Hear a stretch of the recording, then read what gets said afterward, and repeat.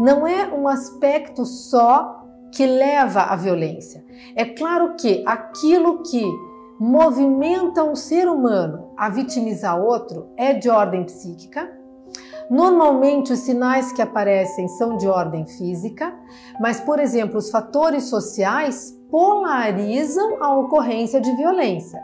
Então, por isso que eu digo que são questões multifatoriais e por isso precisam de ajuda multiprofissional. A violência é toda ação ou omissão de um adulto ou de um adolescente mais velho do que aquela criança ou aquele adolescente que possa deixar sequelas visíveis ou não em todas as áreas do desenvolvimento. Então, pode ser uma, uma sequela, uma consequência física, pode ser psíquica, pode ser psicossocial, pode ser intelectual, em qualquer área do desenvolvimento.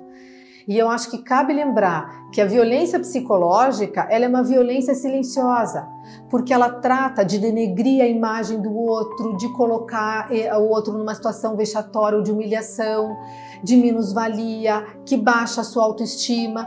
Então, muitas vezes isso não está visível como uma lesão física, mas ela é tão danosa quanto as outras violências e ela normalmente acompanha todos os outros tipos de violência. Nós temos é, diferentes é, sinais. Por exemplo, emagrecimento súbito sem uma causa específica, queda de cabelo por estresse, hematomas, equimose, arranhões, fraturas, queimaduras, outras marcas, por exemplo, às vezes de uma, ah, de uma corda, de uma varinha que bateu, uh, de uma corrente, perda de, dos dentes, queimadura em língua, nos lábios. Então, nós temos uma gama muito significativa de sinais físicos, mas temos nos outros sinais que também são significativos, tanto quanto esses, que são os psicocomportamentais. Então, por exemplo, uma alteração de humor muito brusca e que dure um tempo prolongado então, aquela criança que é uma criança, por exemplo, muito extrovertida, sociável, e de repente se mostra em isolamento social, introspectiva, introvertida. Então, uma mudança que saia do padrão habitual daquela criança. Terror noturno. Ou a criança tem um sono muito atribulado, ou ela tem, por exemplo, é, insônia. Alterações na alimentação. Uma criança que normalmente se alimenta bem, fica inapetente, ou ao contrário, come em excesso por angústia. Nos sinais de abuso sexual é muito comum aparecer enurese e encoprese, a criança não consegue mais controlar os esfíncteres. Decréscimo no rendimento escolar. Veja, aquela criança que não está conseguindo ter um sono adequado, que não está tendo um ambiente familiar adequado para conviver, é, que vive, por exemplo, às vezes junto com o, a, a, violência física, o abuso sexual, a violência doméstica com o adulto cuidador. Então, ela não tem a menor condição de ter uma atenção concentrada no dia seguinte para ir para aula. Então, há um decréscimo no rendimento escolar. Muitas crianças, por exemplo, que sofrem abuso sexual, especialmente as crianças na primeira, primeiríssima infância, começam a ter um comportamento erotizado, faz, falas erotizadas, muito além do esperado para sua idade cronológica. E muitas vezes elas repetem esse comportamento com as, as outros seus coleguinhas na escola, com as outras crianças com quem convive, até mesmo com os adultos cuidadores. Então nós temos um rol muito significativo de sinais.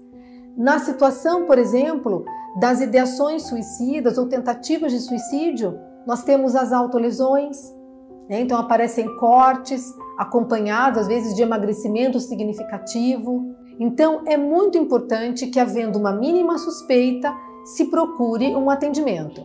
Pode ser na unidade de saúde, pode ser no conselho tutelar, pode ser num hospital de referência e ou as crianças e os adolescentes podem falar para o seu familiar, aquela pessoa com quem sinta segurança, com quem sinta proteção para falar. Porém, se nós nos basearmos que 67% dos casos de violência acontecem no ambiente intrafamiliar, Muitas vezes, aquele que deveria zelar pela proteção é aquele que está vitimizando, então nós precisamos abrir outros canais de ajuda para a criança. Que pode ser na igreja que ela frequenta, pode ser numa atividade extra que ela faça, pode ser na própria escola onde ela está, até porque depois do ambiente familiar, o outro ambiente onde a criança passa mais tempo, onde há uma constância nas interrelações, onde ela se sente também segura, é a escola.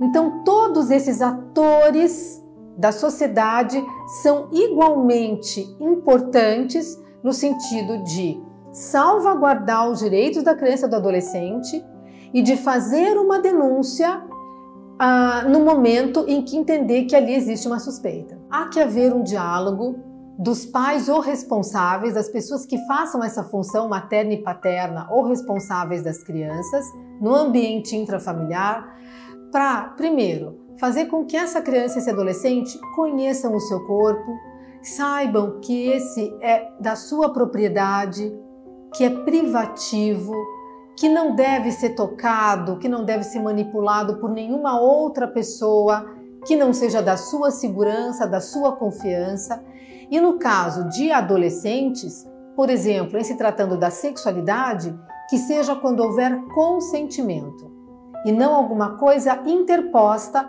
por um adolescente ou adulto de maioridade é, estabelecendo uma relação de poder. Um outro aspecto é ensinar e trabalhar relações genuínas, relações verdadeiras e que tratem dos limites internos e externos dos direitos de cada um, porque assim a gente vai fazer com que passe de uma relação baseada na agressividade para basear-se numa relação de paz. E também esse tipo de relação deve ser estabelecida na escola, deve ser estabelecida em outros ambientes onde as crianças e os adolescentes convivam. É importante abrir um diálogo que trate da diferença, que trate da tolerância entre as pessoas, que trate de trabalhar as vicissitudes que vão acontecer na nossa vida, para que assim a gente tenha relações mais genuínas, relações de solidariedade, de afeto e menos agressivas.